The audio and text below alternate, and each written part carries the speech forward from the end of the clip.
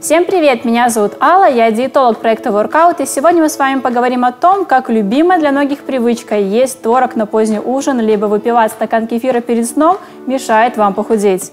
Давайте не будем терять время и разберемся, в чем же причина.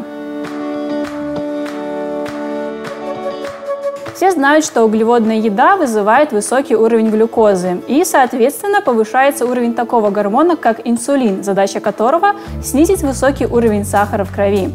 Но вечером высокий уровень инсулина играет с нашим процессом похудения очень злую шутку, а связано это с еще одним гормоном соматотропином. Его же называют еще гормон роста. Он мобилизирует жиры из депо и заставляет наш организм использовать для своих энергетических затрат во сне именно их, а не привычную глюкозу. Но проблема в том, что соматотропин не выделяется при высоком уровне инсулина.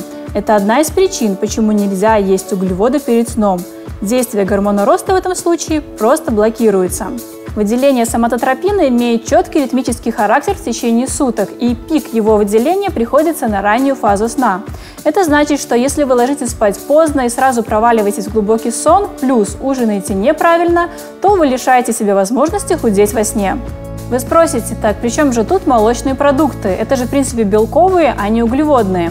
Оказывается, что вся молочная продукция, за исключением сыра, имеет высокий инсулиновый индекс, то есть провоцирует высокий выброс инсулина в кровь. А сывороточный протеин, то есть молочный белок, вызывает самый сильный инсулиновый ответ по сравнению с другими животными белками. Молочные продукты делают уровень инсулина выше, чем можно было бы предполагать по имеющимся в них углеводам. Так, у молока гликемический индекс 30 невысокий, но вот зато инсулиновый индекс 90 очень высокий. И это неспроста, ведь инсулин стимулирует рост массы тела, поэтому способность молока его увеличивать ускоряет рост детей. Так что же тогда есть на поздний ужин, спросите вы? На самом деле вариантов не так-то и много. Спасательным кругом в этой ситуации для вас являются овощи и зелень. Они имеют низкий гликемический и инсулиновый индекс.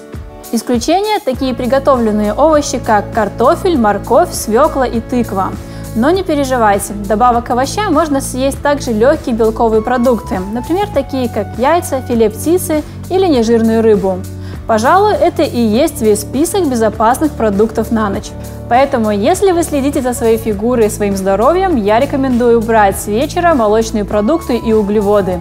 И самое важное, помните главное правило похудения – тратить калорий больше, чем их употреблять. Будьте здоровы и будьте в форме. Пока-пока!